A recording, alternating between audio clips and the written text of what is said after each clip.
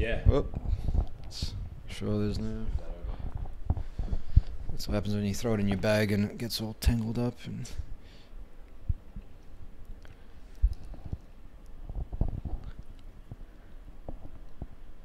Alrighty, very special edition of Future Squared. This is episode number 342, and it is the first live Facebook Live video episode of Future Squared after three and a half years. So today I have a very special guest on the couch with me here at Future Squared HQ, Mr. Lucas Aoun from Ergogenic Health. Welcome to the show, my man. Thank you, Steve. It's an absolute pleasure to have you on the program. Have you had your nootropics this morning? Oh, yep. I'm feeling sharp, feeling focused. What, what yeah. were your uh, nootropics of choice today?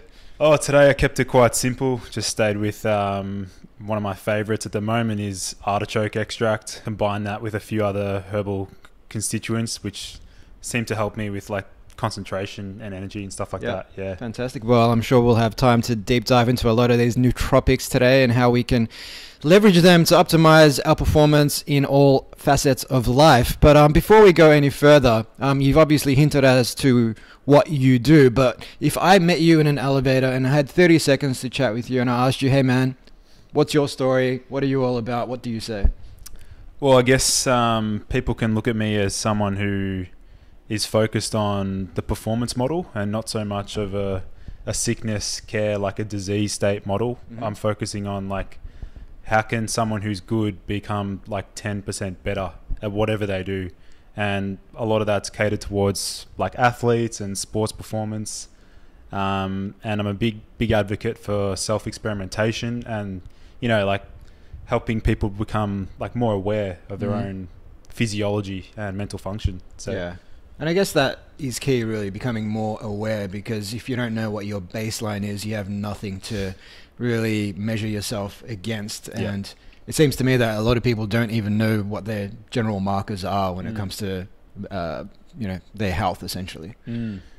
Yeah, pretty much. And a lot of people, well, when we come when it comes to like exploring nootropics, which are basically for people who are unfamiliar with what nootropics are, they're just any sort of natural or synthetic compound that can improve either any aspect of executive functioning, so Mhm. like mood, focus, concentration, memory.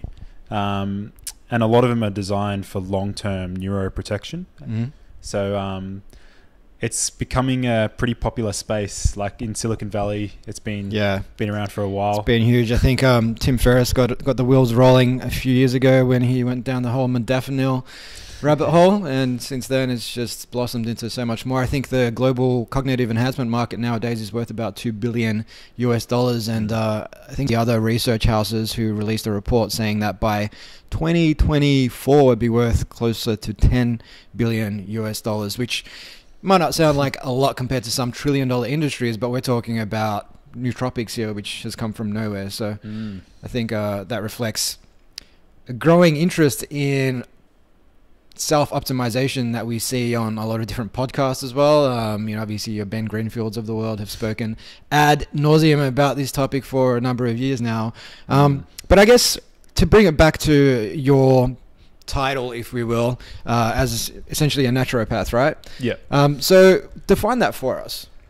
Okay, so I mean, I'm not sure about like how many of your audience would be aware of what a naturopath is, but essentially, we are fixated on healing the body and restoring balance through um, factors simply beyond just a, a medication, right? Mm. So we understand that, like, for someone to become to reach their fullest potential, they have to address various factors of their lifestyle. So sleep, diet, stress management, um, exercise, things like that. They all play a role in um, ultimate well-being. So, yeah, I mean, and and naturopaths really focus on you know the overall, the bigger picture. Yeah. Whereas just um, a lot of people get a bit frustrated with um, some of the other forms of medicine where Yeah. it's focused on simply um, symptom suppression, which Mm. in the long run, it may like it just leads to more issues down the track. So you'd rather we focus on the cause, yeah. like the root cause of disease or or um, the symptoms, and then we address that. hmm So I guess with uh, respect to what you're saying there with modern medicine, essentially focusing on the symptom, is that I mean my the way I read that is that that's essentially a band-aid solution rather than f- addressing the the underlying root cause. Mm. And one thing you've talked about there, which I think when I observe a lot of what's going on in the nootropics and cognitive enhancement community, it seems like there's a lot of people who focus on the 1% better improvements, take this pill, get a little bit better, take that pill, get a little bit better, but then they will neglect, for example, in the entrepreneurial community, people will beat their chests and say, I'm working 14 hour days and they'll have lion's mane and um, emulsified MCT oil and all sorts of stuff at their desk, but they'll sit on their butts all day. They won't go to the gym. They'll get like four to five hours sleep, but they think that if they take, keep taking these supplements, that'll be enough. Is that is that enough? Uh, it's definitely a long game. That's not gonna that's not gonna work out. Yeah. Like if you want if you want solid productivity on a daily basis, like a good, you know, like get into flow for four hours and then Mhm. just have like a, a solid day throughout like the rest of the day, then you gotta look at it beyond simply utilizing these little short-term nootropics and thinking about it as a as a bigger as a bigger picture. Yeah. So the way I I think it was Alex Hutchinson who I had this conversation with. Um, he wrote the book Endure. Used to write for Runner's World, and his analogy was, you know, all that stuff's great, but unless you're getting your seven to eight hours sleep, unless you're exercising regularly and eating well most of the time, it's kind of like having the icing without the cake. Mm, yeah, pretty Yeah. much. Yeah. Uh, it's funny. I wanted to uh, rewind about three or four years. I think one of my first memories of Lucas was uh, when I was an advisor at a company called Newts, um, which changed its name to Happy, basically a Melbourne-based nootropics company. You worked for them Mm. for a little while, and uh, I remember you sitting in one of the the meeting rooms at Collective Campus with um, a brainwave reader on your head, and you were meditating. And there was like a group of people around you looking at the brainwaves on the computer, trying to determine whether there was a correlation between the meditation and which brainwave you were in. And um, I was like, man, that is some next level shit. yeah, I do remember that day actually. Um, I think I was uh, just a guinea pig for a for a student experiment. Yeah, yeah, yeah, fantastic. But and that's the thing. It's um being a guinea pig. I think is something that uh whether it's a Ben Ben Greenfield or a Tim Ferriss or someone like that, and and yourself. You're always running these new experiments, and I see your updates, whether it's on Instagram or Mm. Facebook. This week I'm trying this, this week I'm trying that. The effect on my cognition was probably worse than I would have liked. I remember reading something like that based on something you tried, and Mm. I mean, what does that sort of cadence of experiment look like for you? Are you running experiments every week or? Yeah. Well, I've actually noticed that in the last few months, I follow a very um, similar s- procedure, and what I do is I will first start out with just research, like Mhm. understanding the theory behind Mm. a substance or a particular herb or something. If I'm trying to a particular supplement or whatever, so I'll do the preliminary research. Mm. Understand the science, like really go deep and like I really like don't even go onto particular any websites that are biased or anything. I just go straight to like the PubMed source and try and understand let's say we're talking about a herb, right? I'll Mhm. understand its therapeutic action, so like what it's what it's atten- intending to achieve. And then I'll look at it from a like a traditional point of view as well. So like understanding how it was used a thousand years, like thousands of years ago, Yeah. um, and then I'll, uh, I'll I'll dive deep, and then I'll just experiment with it. Like I'll source it myself, and then see how it affects how it affect, how it affects me, and then I'll um, I'll document everything as well. So Mm. like I'll keep track of um, how things are affecting me in particular ways.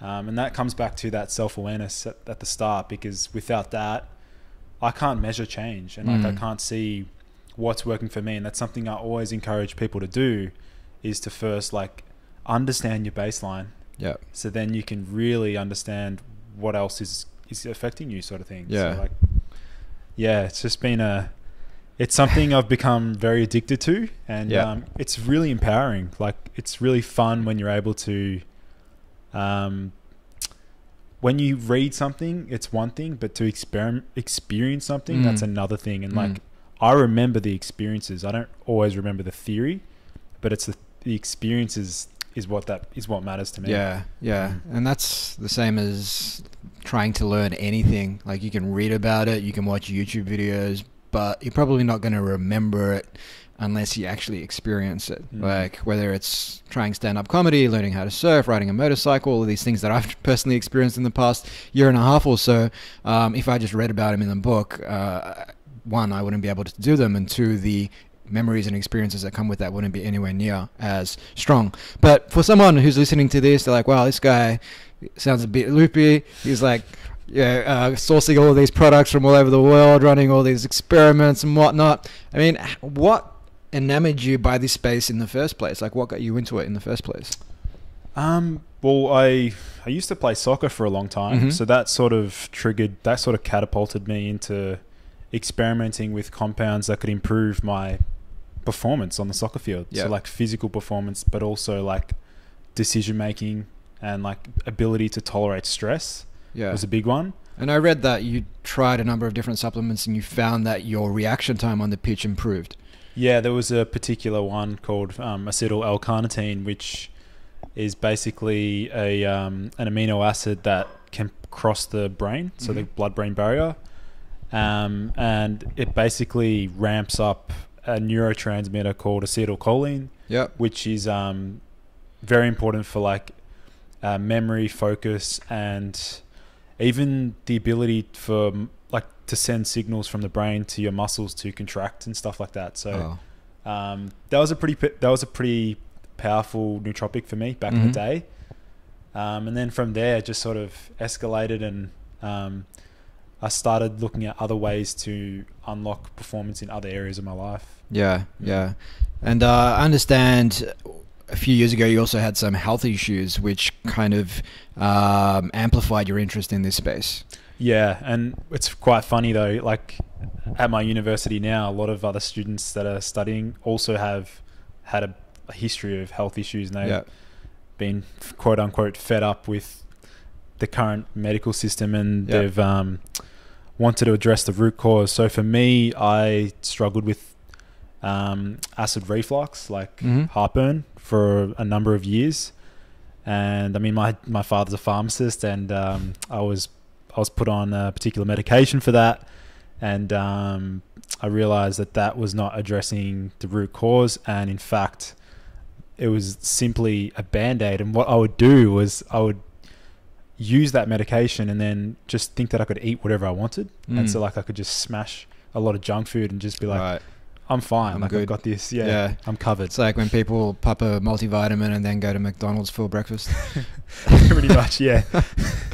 Uh, that makes sense. Um, no, and, and I think that I can draw parallels between that and what I see a lot of entrepreneurs do. You know, they'll get into a particular space trying to solve a particular problem because they have experienced it themselves. Uh, whether it was, you know, Drew Houston, uh, who founded Dropbox, and his whole thing was he got tired of losing thumb drives with important files on them and things like that, and having to back stuff up onto external hard drives and clunky. I remember actually losing a, an external hard drive that I spent hundreds of hours ripping CDs onto. This was about 10 years ago. I'm showing my age. And then we left it out in the sun at a New Year's Eve party and it just fried. And that was not a good experience. So I'm definitely glad that we have online storage and, and the likes of Spotify nowadays. But I think it speaks volumes to you know the, the impetus to want to try something to create something to solve a problem when you've experienced it firsthand Mm. and then when you do try something like you did on the soccer pitch and you notice there's improvements like that is very motivating and it just pushes you to keep going down this rabbit hole Yeah, yeah. I mean, I love the aspect of. Um, I also love the aspect that it's a very unexplored area as well. Mm. Like, and not many athletes really tap into that sort of stuff. yeah And I see that as a growth area myself. And clearly, that's a space I want to sort of Mm. occupy. are, are you starting to see more professional athletes tap into this sort of stuff You know, I'm not actually entirely sure, but I know like a lot of UFC fighters and um, Brazilian jiu-jitsu fighters, some Yeah. friends of mine, they really looking for things that can improve like focus Mhm. when they fight. Um, I had I worked with a table tennis player at one stage. Right. He's um, he was looking for obviously something that would help him with focus and like I imagine that's one sport where you need to be super honed in. yeah, yeah. Um, It's not like cricket where you can just be an outfielder and just you know scratch your bum. Yeah. um, yeah. So I guess, and even bodybuilders now. I think what what what we're seeing is um, a lot of products are now using nootropics Yeah, in their pre-workouts yeah, uh, because they know that they do have a pretty robust effect on brain function. yeah, yeah. Um, I guess with um, focus and especially amongst mixed martial artists, I guess in that industry you've got a bunch of evangelists, uh, if you will, who are pushing the merits of nootropics, whether it is the likes of um, uh, Aubrey Marcus or Joe Rogan uh, over at Onnit and you know the Alpha Brain supplement. I think that's gained a lot of uh, notoriety, if you will, within the mixed martial arts circle, Mm. um, and perhaps what you might see is that there might be other advocates uh, within other sports that might you know start to push the the cause somewhat. But yeah, it's definitely taken off within Mm. MMA. And even the um, the e-gaming market as well. Yeah, That's taking off there as well. Like a, uh, gamers, like professional gamers, they Mm. want things that can improve their reaction time and like um, other aspects of. I'm not exactly. I don't play video games myself. but- yeah, neither Uh, do I. Well, the only time I play video games is when I visit my uh, one of my nephews, and he always asks me to play FIFA. yeah. And he's like, "This time I'm gonna beat you," and uh, he almost does. But then I always come back with two late goals and, and beat him three three two, which is uh, you know, I, I don't I don't agree, and I'm not one of these guys who believes in letting them win. Because that way they never learn, and you're not setting them up for success in the real world, right? They've got to they've got to struggle against adversity and then win the right way. Um, so, speaking of evangelists in the field and advocates, uh, you did some work with uh, Anthony DiClementi, who is, uh, you know, one of the world's leading sort of holistic wellness uh, advocates or coaches, if you will. He wrote a book called, uh, was it The Ultimate? Got the name here, The Biohacker's Guide to Upgraded Energy and Focus. Mm. Um, what did you do with um, Anthony? What was the nature of that work? Yeah, so when I was working with Anthony, we were focusing on that di- the digestive issues, and Mhm. um, essentially he put me onto an eli- uh, an elimination diet to basically see which sort of foods I was reacting to. Mm-hmm. Um, he also implemented some other like sleep hacks, so the blue blockers Yeah. back in the day. Um, and I'm not sure if your audience is pretty aware of them. Yeah, but- let's but- talk about blue blockers. I've got some in my bag at the moment. Yeah, so essentially, um, all they are is just glasses which um, you put on about two to three hours before bed, and um, they filter out all the blue light. Um, and so essentially, all you can see. Mm-hmm. Um, and what that does is with artificial blue light, it essentially, when your eyes are exposed to that sort of light, um, that suppresses our sleep hormone, melatonin. Um, and I actually did some self experimentation myself with uh, with my Oura ring, Mm-hmm. which tracks my sleep, and um, I did nights with and without my blue blockers. And on the nights that I did wear my blue blockers, there was about a 20 to 30% increase in my deep sleep, Wow. which is enough because if you think about the repercussions of that, the following day, your your energy levels will be a lot better Mhm. based off just that deep sp- deep sleep aspect. Yep. Um, Yeah, energy. I think mood regulation. So you'll generally be a more positive person, uh, and also creativity as well. Yeah. I think it's in that deep REM sleep where um, our brain starts to make connections between different learning pathways or neurons that we have yeah. uh, you know, gathered over the day or, or the month or the or the years. So Mm. yeah, that's fantastic. Um, and just for our listeners, if they are looking for some blue light glasses, I picked them up on Key Australia. No, I'm not sponsored by them, but uh, it was like sixty bucks or so. And you know, if if you can get a thirty percent increase on your REM sleep, that's that's a very worthwhile investment. For sure, yeah. Yeah, so um, Although I would also say, just before we go on, sorry, Lucas, that people should probably just not look at their phones for an hour or so before they go to bed, anyways, Yeah. and do something a little bit more calming. Mm, such as read a book or something. Yes. Um, yeah. So with Anthony, we sort of he sort of exposed me to other areas of wellness that I wasn't even sort of tapping into, Mhm. and um, one of them, funnily enough, he sort of knew that I was one of those guys who just loves to consume, consume, consume like information. Yeah. And he basically hinted to me that I need to stop consuming and start just living and loving myself, sort of thing, and just yeah. you know being grateful with where I'm at and like all that I've achieved. Um, so I'm still working on that today. Like Mm. I haven't, I'm not, I haven't perfected that area. Like I think I'm always, like all my friends around me and family, they all know that I'm always on the hunt for the next something big. And Mm. I've said this to a lot of people is that I wake up, I do wake up every single day with a, with like a flame. Like I can't even, it's a, a sensation that I have that I'm going to discover something big Yeah. for science. I don't know what it is yet, but it's going to be it's going to be life changing for millions of people. I can I can feel it whether that's a nootropic or if it's some sort of health Yeah. manipulating thing. I have no idea, but yeah, I'm just it's motivating for sure. Yeah, no, that's that's awesome, and I, I don't really meet too many people who tell me that they wake up in the morning with this flame, this burning desire to discover this breakthrough in in medicine, in science. It's going to change people's lives. I think that's really cool. Mhm. Um, and you know, I totally hear you when you say a desire to want to just consume, consume, consume. Um, and sometimes that can come at the expense of, say, taking action. Um, and you know, you could have, say, for example, two entrepreneurs. One just loves reading everything, every book. Read all the books, listen to all the podcasts, um, read all the blogs, and have all this knowledge, but not really act on it. Whereas you might have another entrepreneur who will just go forward and act, make a million mistakes along the way because he hasn't read these blogs and books, but then learn, pick themselves up. You know, what do they say? Pull, pull yourself up by your bootstraps, keep moving forward.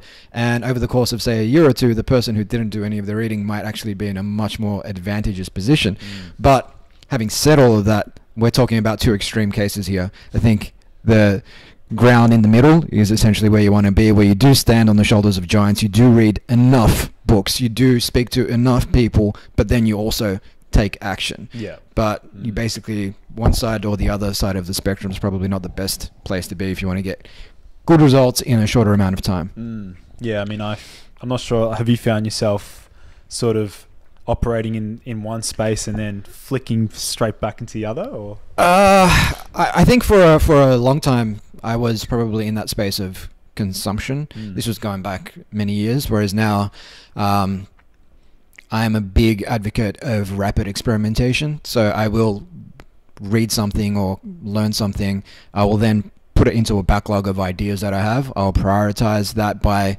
how likely is this going to be to create value and what's the cost going to be of this out of 10 so for time and money. And then based on value divided by cost you get a, a, a value.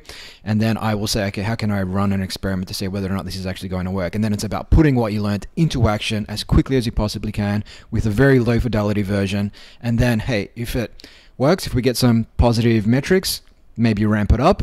If it doesn't maybe ramp it down uh, kill it potentially. But that way by uh, testing as fast as you possibly can, you get out of that analysis paralysis place. But it also means you avoid just doing stuff without having sort of leveraged the the content that's out there. Because if I'm gonna operate purely based on experience, then I'm, I'm basing it on one person's experience of life, of, of learnings. But if you're reading books and everything else, then you can be operating upon thousands of people have done before you, learn from their lessons, learn Mm. from their successes, um, and you're going to be much more likely to succeed. But it is about being intentional in, and I'm sure you're the same way with your experimentation, where you're very diligent. You know what your markers are, your base testing, what your hypothesis is, how long you're going to run it for, what success looks like, and, and so on. Yeah, pretty pretty much. Yeah, spot on. Yeah, and um, I mean, speaking of which, and um, this is perhaps where the males uh, listening to this, and maybe even the females who are who are you know are partnered up might want to take take heed. Uh, when it came to um, testing and running experiments of your own, I remember you posting something on uh, I think it was on Facebook, probably about a year ago, where you posted your testosterone levels, and your testosterone levels were had basically maxed out. I think at what thirty What's the what's the rank? What's the, The- marker? The, range goes up to 28. 28. Twenty-seven point three. You're 27.3, and before you started this experiment, what were you on? Okay, so um, I think I know what Steve's hinting at right now, but um, the intention of that that experiment was to see the effects of icing. Yes. What do we mean by? Are we putting like an ice pack on our heads, or what's what's the go here? Okay, so the theory is that men's testicles, Yes. their gonads, um, they need to be kept cool for Uh-huh. optimal function, right? And just in our everyday living, like they're always, because even if they're just two degrees too hot Mm-hmm. or too warm, they um, fail to produce sperm, and like they, the function of the gonads no longer work. So, um, I did a bit of reading online. I did some research, and I came across a particular cooling device, Mm-hmm. and I read some studies on that and how that improved um, overall sperm function and fertility in men. Um, then I did a bit more research, and then I decided to just start experimenting with it, and um, started an icing protocol of literally just like ten minutes a night before Yep. bed, and um, For how long? I did that for about twelve weeks Yep. and then got the blood test done. Um, having said that, though, like beforehand, my hormones were, were pretty good, but it did it did boost me up a little bit. Mm-hmm. Um, and funnily enough, I decided to create a, a Facebook group dedicated to this, and then It's called Sub Zero, wasn't it? yeah, Sub Zero.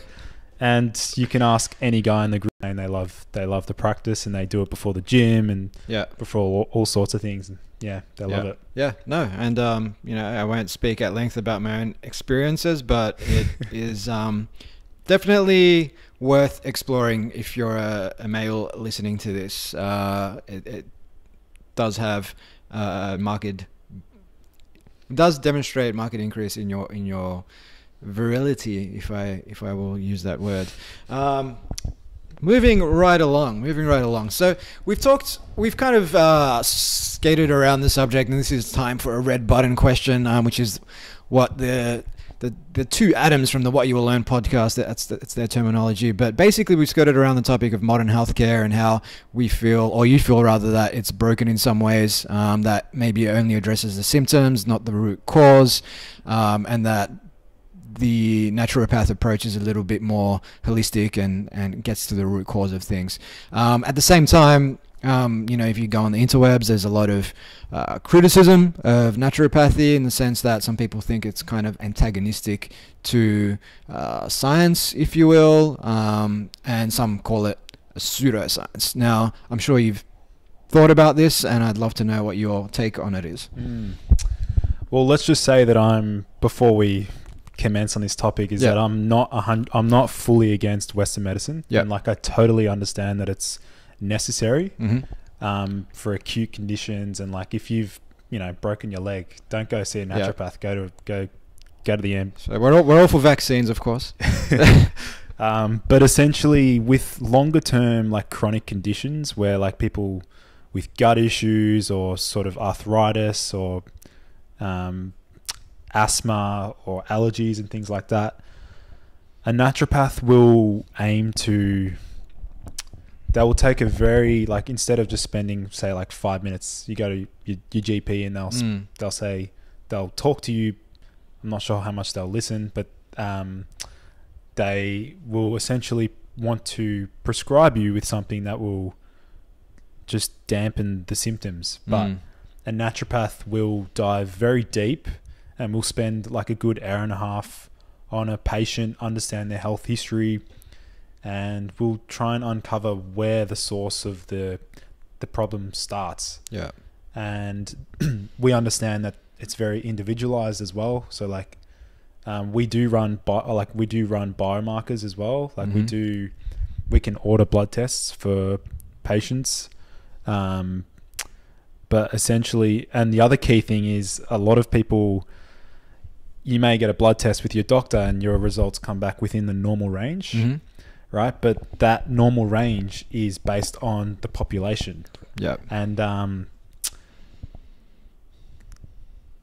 for example, with thyroid function, um, some people can be smack bang in the middle of the range, and the doctor will say, "Awesome, you're you're perfect. Like you're in you're in good health. Your thyroid's perfect." Um, but if you really dive deeper and understand the negative feedback mechanisms of what that's actually measuring, that's not optimal. Like we Mm. want you. Do you want to feel great, or do you want to just feel like average? Yeah, you know? if the average is representative of the person who doesn't exercise, eats a lot of McDonald's and everything else, and you're average, it's not exactly a good thing. Hmm. Yeah. pretty much. So um, th- that's that's one aspect. Mhm. But uh, yeah, naturopath will.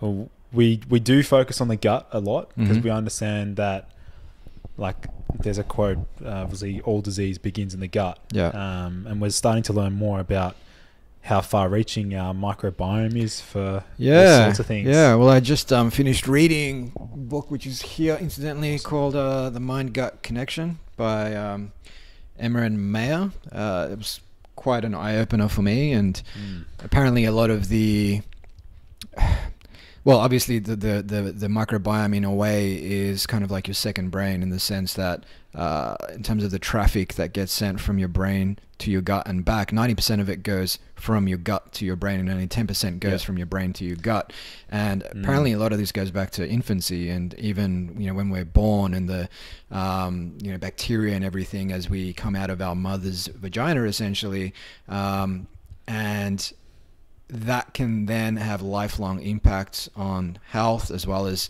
your uh, disposition in terms of your mood as well. Like, are you Mm. going to be someone who suffers from social anxiety and all sorts of stuff? Like, uh, I was blown away by some of the learnings, and I'm only like scratching the the very you know top of the surface here Yeah. in terms of the microbiome. But I guess it's still early days in terms of what we're what we know in that space. Yeah, yeah. Well, um, I'm sure a lot of your audience will be familiar with probiotics. Yes, of course. Um, so there's a whole new space that's like there's a lot of research going into it, and that's psychobiotics. Mm, Right. So they're essentially uh, my, uh, probiotics which can which have a significant effect on mental health. Yeah. So like depression, anxiety, Mm. and things like that. And that's a really that's a cool space, and I'm always like delving into it and stuff. So just keep a lookout, keep a Yeah. lookout for that sort of stuff. Yeah, and uh, I was reading about that in the sense that if you eat, uh, you know, probiotic enriched um, yogurt or, or pop, you know, your 55 billion um, um, probiotics and whatnot, that it can have an your your mood, for example, somewhat. Um, but if Mm. you're not getting if you haven't got a lot of diversity in your gut, then you can be quite uh, anxious and irritable and everything else that comes with it. But Mm. one of the interesting studies that came out of that book as well, oh, well, didn't come out of the book, but it was highlighted in the book, was um, where they took stool samples from mice. So there'd be two mice. One would be like super um, active and social, and the other one would be very reserved and quiet. And they took a stool sample from the, uh, the hyperactive mice and put it into the gut of the quiet mouse, Okay. and it then started to behave like the other mouse, which- Exhibiting those symptoms. Exactly, Yeah. which um, speaks volumes about how your gut influences your behavior. Mm. Um, and I think they're starting to run similar experiments um, amongst humans now. Uh, and potentially, stool transfers could be one way you could, you know, help to allay people of their anxiety, for example, which yeah, yeah. Um, next level. It is. It is. Um, fecal transplants are Yeah. going to be a big thing. So, to all you out there who believe you have optimal stools, you can be a donor yourself. And uh, Might have to uh, go go visit Joe Rogan, knock on his door, and just uh, you know while um, while everyone's sitting down to dinner, go to the toilet and see if I can uh, get some stools. And all right, I'm going off on a tangent, but uh, hey, we can all be a little bit more Rogan. If we could all be a little bit more like him, I think the would be a better place. Um, so what else are we going to talk about today? We're going to talk about uh, purpose as well. So you know, nootropics, naturopathy, modern medicine, whatever the case may be, it can all help to make us a little bit better. Food, exercise, sleep, and so on. But my view on this, and this echoes something that uh, Brad Stulberg, um, author of The Passion Paradox and Peak Performance, also said was uh, purpose is the world's number one performance enhancer. Like Mm. you could be getting your, your sleep and everything else, but unless you're waking up with a reason for being, um, a mission that you're working towards, you kind of just skate along. Um, it's kind of like what you said earlier, where you're waking up with this fire in your That belly. Yeah. But if you haven't got that, then you could be like, all your mark biomarkers could be awesome, pretty much. Yeah. but like, what are you gonna, what are you gonna do now that you're superhuman? For example, are you gonna jump in front of a train or to save someone? But you haven't. Where's your purpose, right? Mm.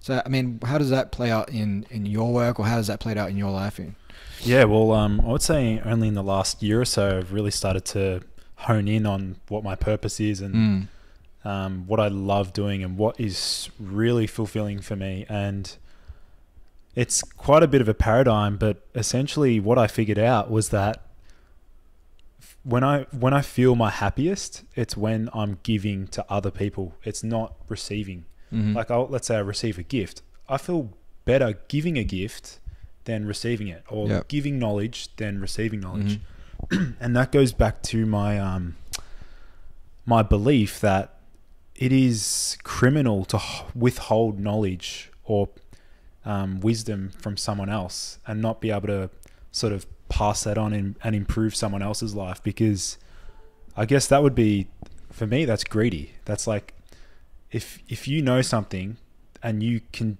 straight out help someone else with whatever their whatever their challenge is then just just do it do it from Mm. your heart because i mean things come back to you and you you'll be better off in the longer run and for your own mental health and for your own happiness Yeah, well i'm speaking on on behalf of myself. Yeah. of course. i feel i feel amazing like the days where and as i track my mood and my well-being and stuff like that Mm.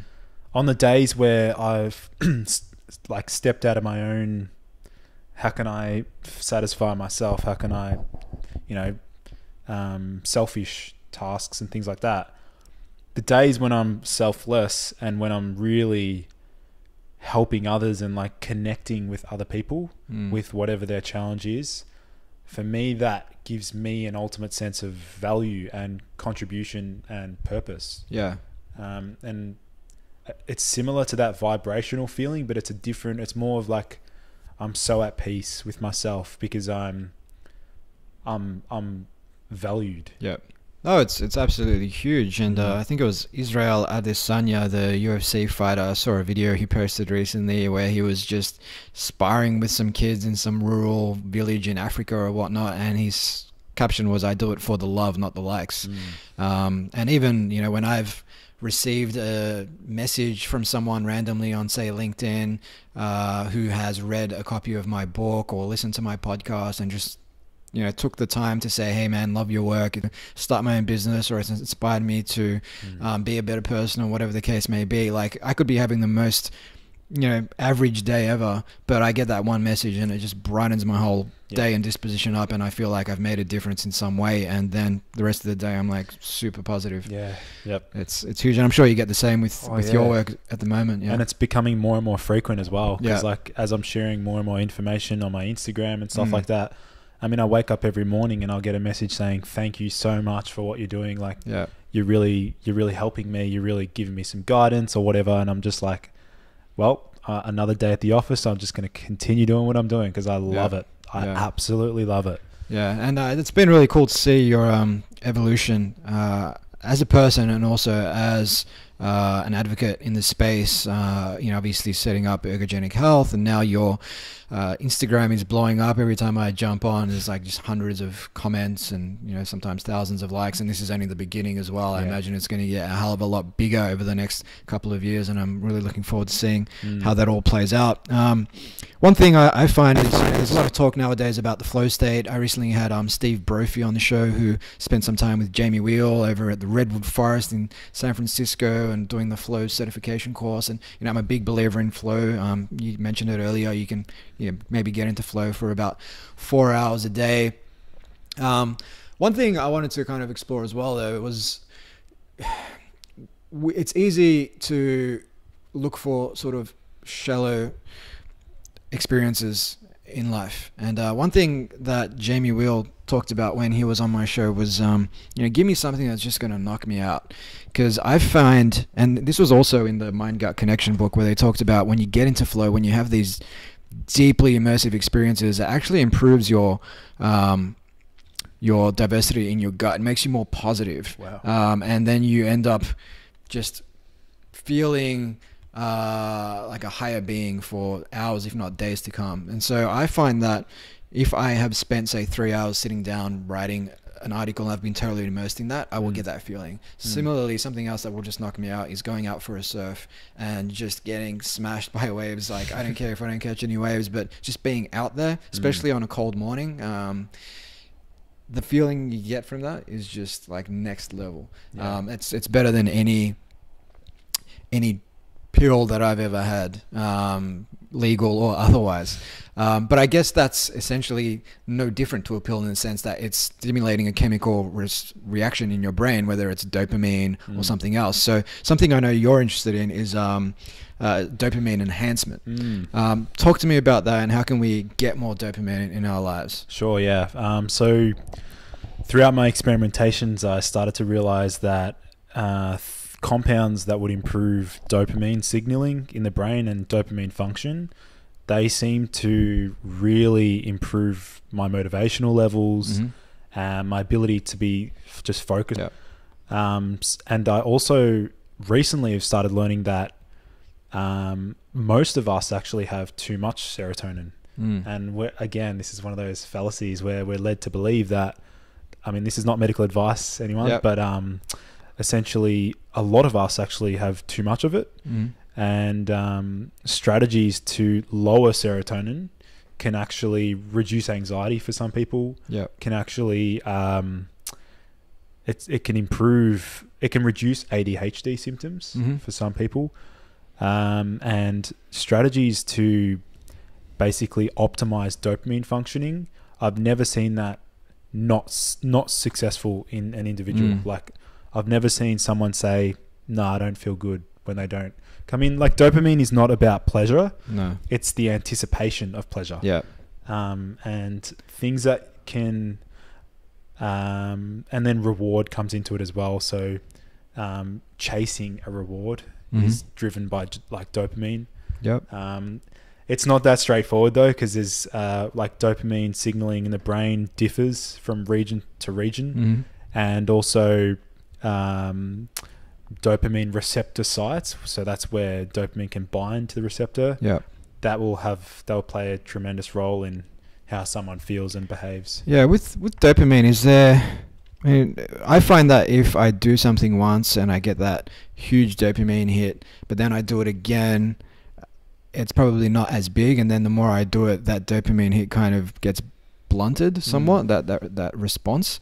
Uh, is there something in that to say that well, you need to keep increasing the challenge or the intensity or something, otherwise you're just going to be chasing the dragon, if you will. It's sort of uh, yeah, you're basically touching on that reward threshold. Yeah. like it's constantly being bumped up and up and up. Yeah. So to achieve that same sort of spike, you need to do something riskier or something more uh, rewarding in a sense. Yeah. Um, And that's kind of like plays out in relationships. People have the initial honeymoon period. They're like, this is amazing, just flirting. And then after a while, they're like, I hate this person. I can't see anything but negatives and all those positives that I once saw. I don't know what I was thinking. yeah.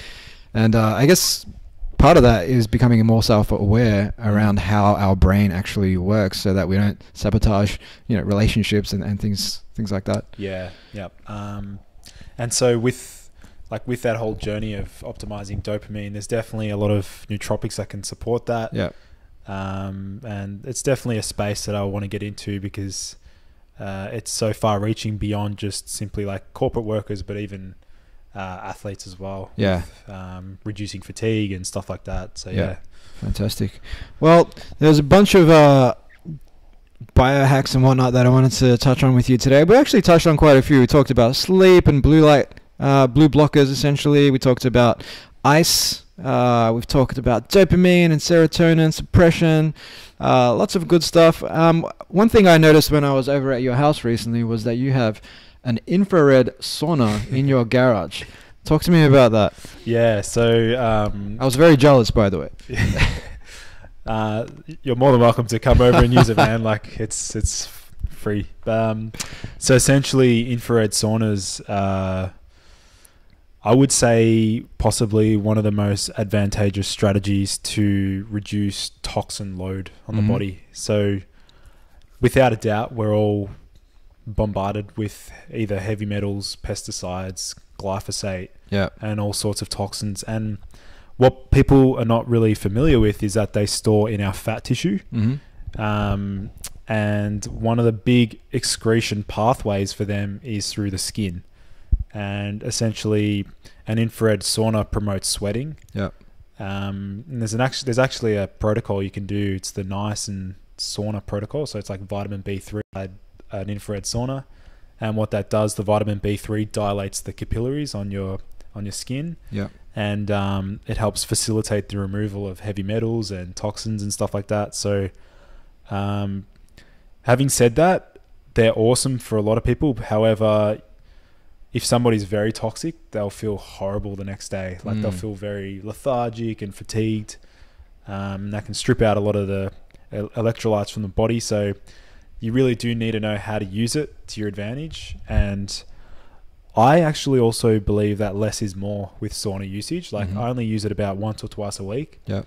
Any more than that, and I'm just drained. Like what, 15 minutes or so? about 25 minutes at 25, about yep. 55 degrees Celsius. Yep. Um, and that's enough, Yeah. really. Uh, and the other thing is Dr. Um, Rhonda Patrick. Yep.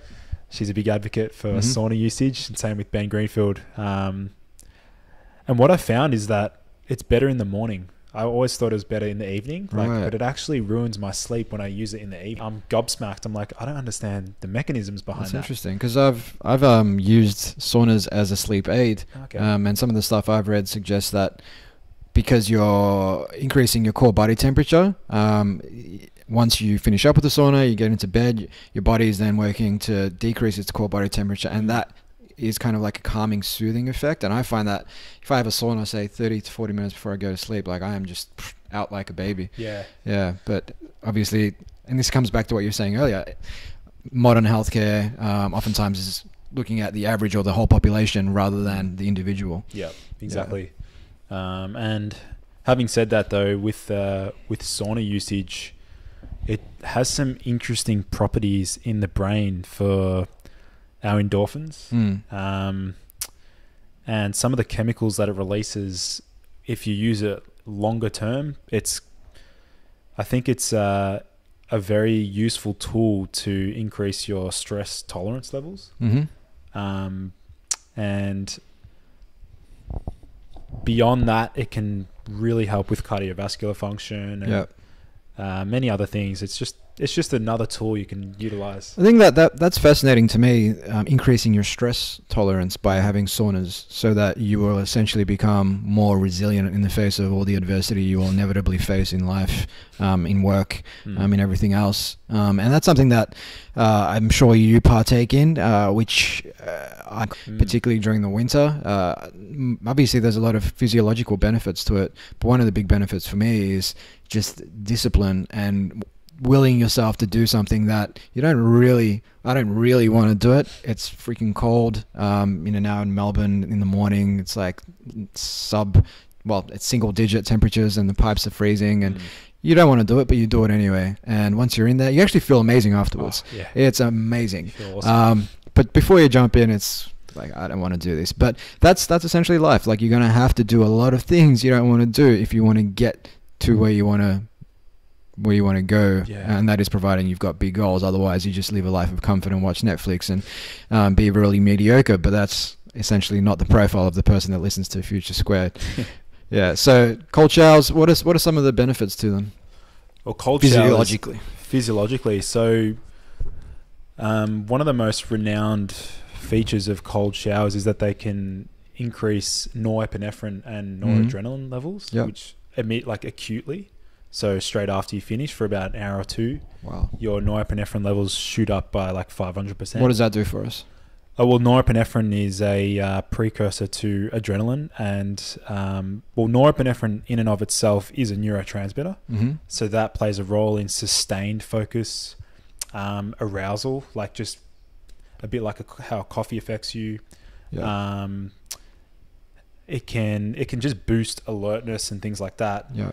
Uh, So with neurotransmitters, like if we have not got, say, enough uh, neuropinephrine, we may not think and make decisions as well as we normally would. Uh, is that what we're kind of talking about there, or um, well, understanding the pathway. So yeah, like pregnenolone is kind of like the the mother ho- hormone. Is that what they call it? And yep, and testosterone branches off that. Derived and, down, yeah. Okay. Um, well, with the norepinephrine, um, it's more of the arousal slash um, alertness and focus Right. aspect, Yeah. similar to dopamine. Well, funnily enough, the norepinephrine is a, a downstream metabolite of dopamine.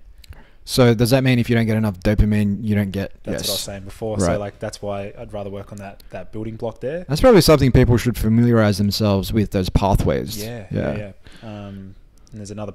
Well, that that pathway starts from our food, Mm. and this is really cool. Is like understanding that our food is the building is the very very beginning building blocks and precursors.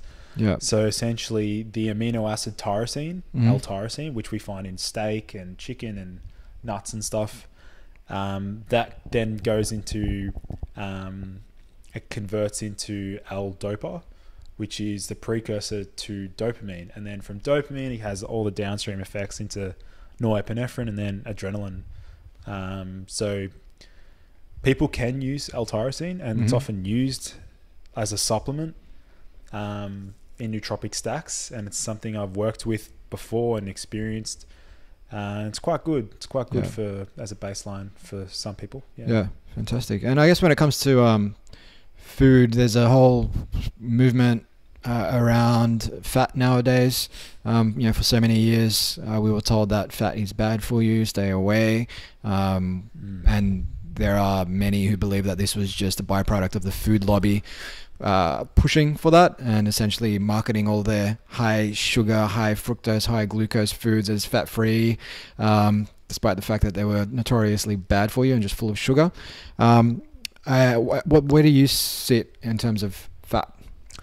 Um, so I've never I've never fully explored and experimented with the ketogenic diet, Mhm. just simply because I'm always training. Because you're half Italian and half Lebanese and you love your carbs? yeah, pretty much actually.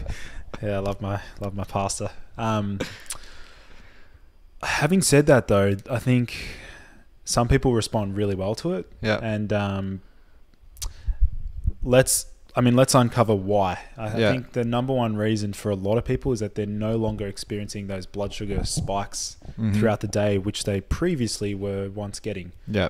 And um, So they're just crashing at like 2 p.m., for example. yeah, Yeah. and um, and even even when you sleep, having good blood sugar control is really important for Mhm. because you wake up. If you wake up multiple times throughout the night, there's a good chance that you're going hypoglycemic. Hmm And when you go low, when you have low blood sugar, your body secretes cortisol Yeah. to get it back up because cortisol is a glucocorticoid. Yeah. and it gets it back up. Mhm. Um, but the ketogenic diet is there's a lot of research um, in the field of like epilepsy, um, and that's got to do with the effects of like a high fat diet on GABA production, which is another neurotransmitter like dopamine, like serotonin, which is actually the brake pedal. hmm So what that does is um, it's inhibitory. So it's a little bit like how alcohol affects a lot of people. Yeah. It makes them feel like they're in, they're they no longer have any inhibitions, and it sort of just slows them down a little bit, helps them feel relaxed and and sort of calm. And a lot of people are craving that because they're either too anxious or just too on edge. Yeah. And the ketogenic diet for a lot of people um, makes them feel amazing. Like you've you've ex- I've, I've experimented with it. Um, I definitely felt clearer yeah. and I, I felt like I had a heightened sense of focus and awareness. Mm. Um, nowadays, I, I'm not on a ketogenic diet as such, but I would say that I derive the vast majority of my calories from protein and fat, and maybe only about 10% from, from carbs at the moment on average. Um, but it's not up at like 70 to 80% fat, which is essentially the definition of you know keto. keto. Um, it's probably 40, 45%. Um, but one thing I do practice now is the 16 hour a day intermittent fast. Mm. And this is something I heard, I think it was Ben Greenfield who spoke about this. Um, it's not necessarily the fast that is a is why a lot of people feel better.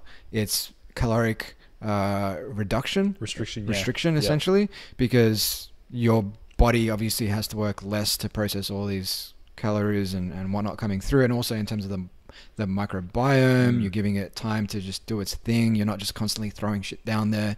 Um, is caloric restriction more so one of the reasons why people um, say that they uh, derive a lot of benefit from, say, intermittent fasting? Or I think that's definitely one element. yep, Um, I'm sure there's many. Like with anything in, in these murky waters, there's lots of elements. Yep. Yeah, yeah. Um, but I definitely think that when you take a break from food, Yeah. um, your body no longer has to like sort of process that. And anytime you're you ingest food, it's Mm. gonna act as your your body needs to learn how to detoxify that as well. So there's going to be waste products to that. Yep. Um, so I think as part of like a, an intermittent fasting protocol and caloric restriction diet, um, the benefits are, are far-reaching. Like Mm. there are effects on the gut microbiome. Um, it gives your liver a chance to start clearing out all the shit that, that's in there, and Yeah. like toxins and stuff. So, um, yeah, I mean, and also growth hormone goes up with fasting. You, you pretty Yeah, yeah, yeah. So I used to uh, be one of these guys who I'd train. So I'd you know do a strength training session in the gym, and then immediately, like within thirty minutes, I'd be smashing, you know, simple carbs and my protein shake and all Yeah. that sort of stuff. Nowadays, like I trained this morning. Uh, it's now what's the time now? It's like nine thirty six a.m. I finished my workout this morning at about seven a.m. and it was. Uh, reasonably heavy strength training workout. I haven't eaten. I've just had some black coffee. Um, but it like like you said, it not eating within say a couple of hours of a workout, it can boost um, that testosterone Mm. level. Essentially, at least that's what I have understood from my uh, content consumption in this space. Yeah, yeah, pretty much. And um, the growth hormone surge occurs. And actually, linking it back to the sauna before, Mm. sauna usage is another great strategy for people to increase their growth hormone levels as Yeah. well. Yeah. Um, yeah, and I mean, following. Actually, I'm about to do a post on how it's better to avoid cold showers Mhm. immediately after a workout. Um, because that can sort of blunt some of the muscle gains and the strength Yeah. adaptations. I also read that you shouldn't have a cold shower after a strength training session because it can have a yeah a blunting effect. Mm. Whereas you should have a, a hot shower after a strength training session. And if you want to have a cold shower, you need to wait a couple of hours Yep. before you do so. Mm. Yeah, which for a long time I was having the cold showers after a, a big workout, and I think it's been probably been about a year now when I've stopped doing that, and I'll only have the cold shower if I've done kind of like a less, more like a functional training workout in the morning where it's not about muscle growth, it's just about functional fitness and whatnot, and then I'll have a cold shower. But yeah, You still got gains regardless, mate. So I wouldn't be worrying. yeah, yeah. Thanks, man. I think I've pretty much been on the same level for about ten years now, so it's not really gains; it just maintains. Um, let's let's touch on a couple other things, then we'll probably wrap this bad boy up. GDAs, Yeah. yeah, I I I actually have not come across them. So when I googled what GDAs were, when I discovered them on your website, I was like, this sounds really interesting, and I'm sure our audience will think the same. Yeah. So um, in the last few months, I've been really exploring ways that we can improve insulin sensitivity. hmm Um, for those of you, for those who want to continue to eat like a, a pretty balanced diet with carbohydrates, um, GDAs can be used. So essentially, they're glucose disposal agents. Um, and what they do is they help your body utilize sugar hmm and they help your body use that carbohydrate into where it needs to go. So, like, essentially, they either mimic insulin Yep. or they enhance insulin's actions in the body. So, a strategic, uh, a way to utilize them is you can essentially use a GDA anytime you're having, let's say, like a really high carb meal hmm to help your body use that as a instead of it just lingering in the bloodstream, which is detrimental, like Yeah. high blood sugar levels, causes all sorts of things. Um, GDAs help your body shuttle that sugar straight into the muscle cell. Um, and a lot of bodybuilders and athletes are starting to grasp onto it now and use it like about 35 to 40 minutes before their workout. Wow. And they get better pumps, better performance. Um, and in terms of longevity, like if we care about a long, like longevity, Mm. GDAs, I think for a lot of people can be useful because we are starting to understand that like having elevated insulin levels, um, like, like being insulin resistant, can lead to heart disease and all sorts of um, health issues down the track. So GDAs are one of those strategies you can implement to, you know, increase your insulin sensitivity, um, lower blood sugar levels, Mhm. and um, I guess for a lot of people, it can make them feel less guilty about Yeah. eating a high. Let's say they have a p- big pasta meal or whatever, hmm have a GDA with that, and your f- your body will be able to use that carbohydrate better than Mm. without it. Interesting. Just Mm. on pasta and having know, carby meals, one thing I read a few years ago, I'm not sure if there's any truth to it, was that if you squeeze like citrus or a lemon over your rice or pasta or whatnot, it can decrease the uh, GI sort of profile and, and your body will process it slower rather than like a simple carb in one big hit. Is that something you've come across or is it pseudoscience? I've been doing it for, for years just because. Well, you're doing it for like it's going to have beneficial effects elsewhere. So using Yeah. a lemon is going to help with bile secretion, Okay. and bile is needed for um, emulsifying and digesting fats. Uh-huh. So you're getting the benefit in that area. I'm not sure about slow, like lowering the GI, but um, if it tastes better, then go ahead. It doesn't necessarily taste better, but uh, it, it makes me feel less guilty, which I think is why most people do a lot of things. Hey, I'll, I'll uh, have the Diet Coke with my Big Mac and fries because it makes me feel less guilty. Mm. Um, never mind the um, what, what's all the uh, the artificial sweeteners they use. Apparently, they are just as bad for you as sugar, if not worse. In, in many Mm. cases, that's something that also came out of this Mind Gut Connection book um, in terms of uh, the impact on your microbiome as well as uh, neurodegenerative uh, impacts as well, Mm. um, which people just guzzle them down thinking, oh, it's a Diet Coke, it's all good, I can have several of these a day, which is pretty scary. Um, fantastic. Well, we have pretty much talked about all of the nootropic hacks that I wanted to talk about, or the, all the biohacks that I wanted to talk about, rather.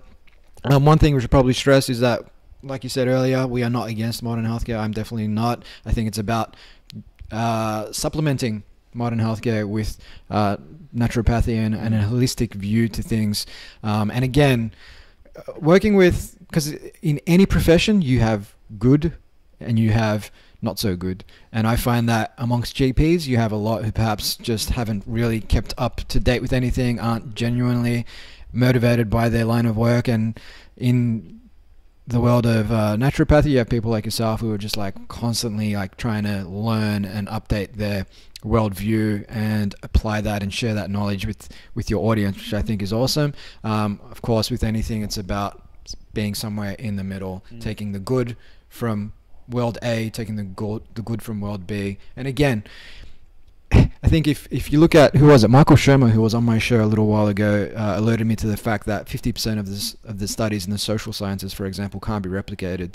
So all we know is what is most right right now, based on the evidence that we've collected, based on how we've processed it, based on um, what we're testing for. But there is so much more we don't know. And it's just about trying things and testing things and seeing what works for you, um, and not holding anything as you know as a dogma or whatnot. And I know that's one of your values over at Yeah. Ergogenic Health is that you know non-dogmatic Mm. you know, and and strong opinions maybe, but weakly held. And if new evidence comes along to uh, falsify what I believe or what you believe, then you'll essentially change your mind on that. And I think that's such a key philosophy that applies not only in this space but in, in life in general. Yeah, pretty much, man. And the um, one one of my mottos is to question everything. you Yeah. know? Don't take not even what I've said today. Don't take my word as like gospel, but go ahead, do the research, challenge what I've said, Mhm. and because I do that to myself every day. Yeah. Like whatever I research, I'm always I actually do a complete 180 and think the Mm. complete opposite. Like if I'm reading a research What's paper, counterfactual here? yeah, Yeah, I'm like, well, what's the? Am I completely off track? And then I'll think of it from the complete other side. Mm. And it's actually happened to me a lot this year, where I've uh, I've done a complete 180 and changed my opinion on a particular topic just by challenging what I previously thought. Um, it's definitely something I, I encourage a lot of people to Yeah. do, and um, to really. Does not matter what something says or information you read. I, I honestly do believe that it's how it affects you, and Mm. you need to take control. Like no one else is going to do that for you. It's up to you, Yeah. and whatever works for you works for you. And um, Even Or- if it's a, it's a placebo, as long yeah, um, and um, yeah, I guess for a lot of people, it's if they feel like something works for them, go ahead, do it. I'm not going to question it. So um, Mhm. yeah, I'm a big promo- uh, proponent of um, taking full control of your health. Yeah, hundred percent. And uh, for people who are interested in having their views challenged, there's a really cool site I came across recently called ChangeAView.com, where you can basically post your opinion on something, and then you invite people to change your opinion. So, but the way it works is it's not like if I was posting something on Reddit and then you have have people just tearing your stuff down. It's done so in a uh, very deliberate way where it supports healthy discourse and it says, Yeah. well, I understand your argument, but have you thought about X, Y, Z? Mm. Um, and I recently put something up, posted something where I said, you can't trust your intuition because uh, it is essentially a byproduct of um, evolution, genetics, upbringing, infancy, past experience. Like there's so many things. And if I'm going to trust my intuition when I'm making a decision about something that I've never made a decision about before, like for example, I'm choosing to invest in I don't know, uh, wheat or something like that, but I know nothing about agriculture, then trusting my intuition probably isn't a good thing, right? But then I had people come back and say, well, it depends what you're making a decision about, Mm. depends how much time you have to make a decision. And so you start to expand your thinking like, yes, you, perhaps you can trust your intuition if you only have one minute to make a decision. And perhaps you've made a decision in this space before.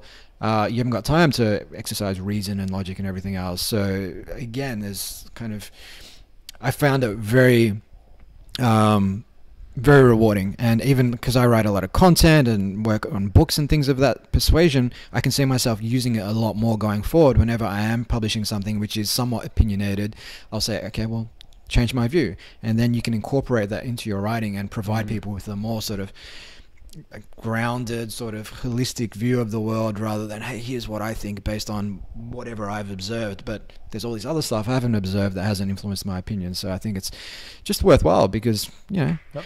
Brandy knows so much and uh, the, the the worst thing you want to be is you know that that horse that gets led to water but refuses to drink essentially Yeah. uh, i think we can all we can all drink the water every now and again as long as it's not kool-aid um, so let's wrap up with with the three question lightning round, Lucas. This has been a lot of fun.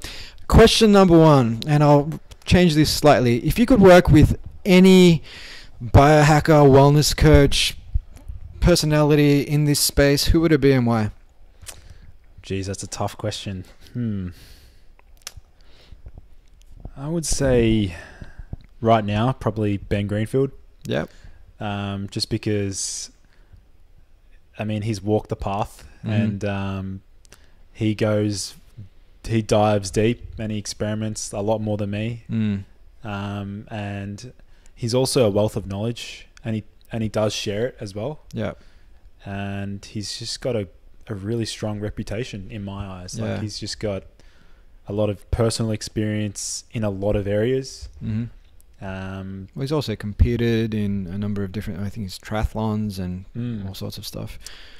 yeah, Ben Greenfield's uh, yeah one of my one of my idols. Yeah. Definitely, definitely. Yeah, well, I was fortunate enough to have him on the Future Squared podcast about a hundred or so episodes ago, so people can revisit that conversation. Mm. Um, speaking of icing uh, gonads and things of that persuasion, I think Ben was on the Joe Rogan show talking about injecting uh, his penis. Uh, I don't remember exactly why he was doing that, but with stem cells. with stem cells, yes, Yeah. yes. What what would the benefit be of doing that? While we're on it. Um, okay, so the stem cell therapy is basically they're like uh, precursor cells to any other cell within Uh-huh. the body, and um, I think as you age, those cells decline, and Mhm. his Ben's objective is to inject them into his penis for for penis gains, I guess. So Wow.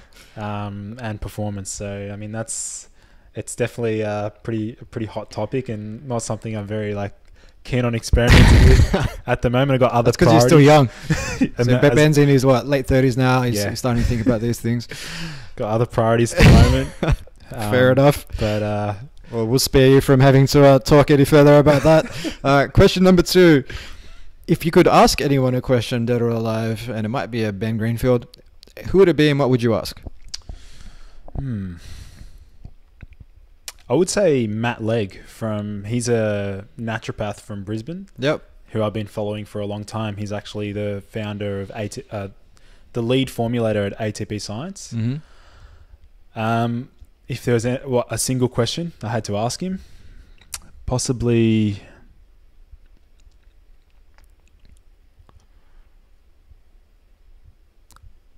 How do you bring a product to market? Because that's Mm. something I'm working on right now. Yeah. Um, Should be asking me that question. yeah, well, for the for the the non-business side of things, more like the Yeah. technicalities of the product. Because I am working on a product right now as we speak, and um, yeah, I'm just I'd like to know a bit more about. Is there that. anything you can share about that product, or is it still early early days? I mean, I've just signed an NDA, so it's Okay. sort of a bit a bit hot at the moment. But um, yeah, I'll be sharing with sharing that with you soon. Awesome. Yeah. Look forward to it.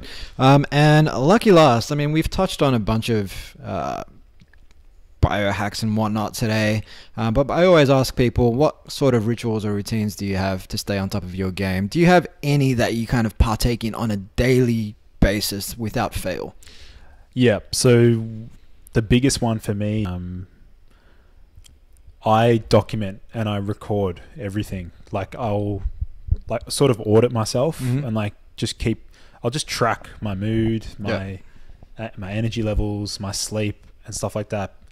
Uh, it's it's a prerequisite for me. Like like you said before, uh, you need that to be able to make change. Mm. And um, Just, just real quick on that. Um, are there any like key markers that people, biomarkers that people should be tracking?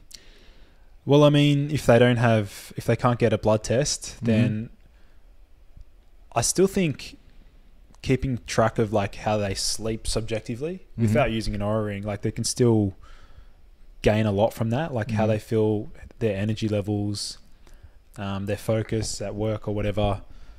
Just self tracking, and then from that, then you can sort of explore like nootropics, and then infuse them into your routine. Then Yeah.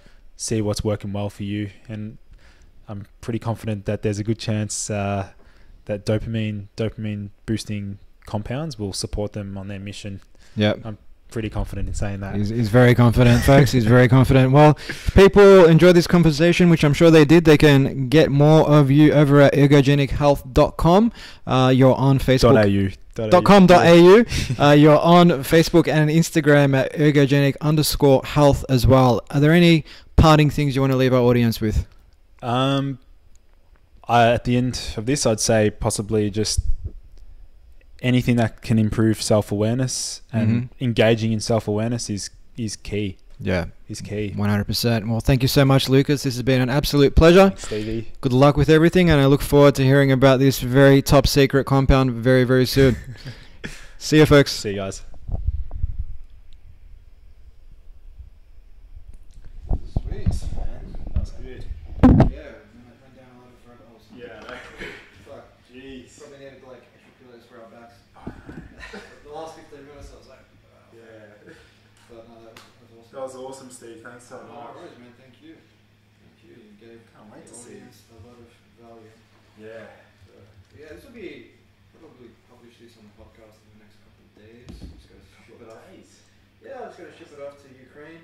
I, I do all my stuff just in time. Like I rarely have like a backlog of 10, 20 episodes set. I'm just like, um, who am I to use? Like, oh, this person's sweet. Boom, put it up.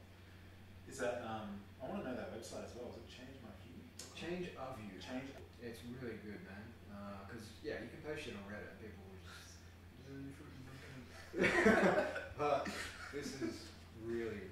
I felt really, and, it was like I posted something within like a couple of hours. I had about seven responses, and they were all helpful. That's sick. And shaping my view. So, yeah. Definitely checking that out. Yeah, especially in your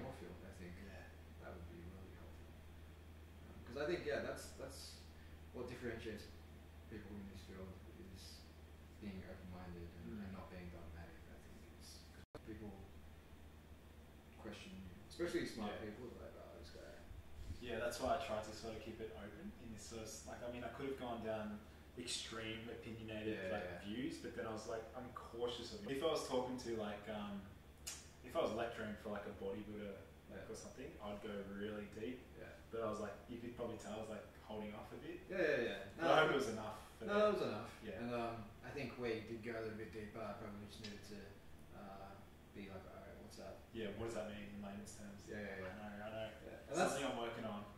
Yeah. That's like uh, I did a mobility class recently at, at the gym, Focus Fitness in Yarraville, and um, PT was it, was it was a good session. Like it was like four weeks, but he fucking used all these words about like tendons and shit and acronyms and stuff that no one knows, and he just kind of expected people to know and Yeah. always have to be like, hey man, what's, what's up? What's up? What's up? Yeah. I think it was good though. Regardless, it's Yeah. just good to get something going and. Yeah. So I Um, think we did, what was it, a good hour or so? Yeah. Hour and 16 minutes. Cool. And that product idea that I was talking about just at the end. Yeah. What's Uh. Yeah, I'll, I'll fill you in soon, but it's um. You remember Canal?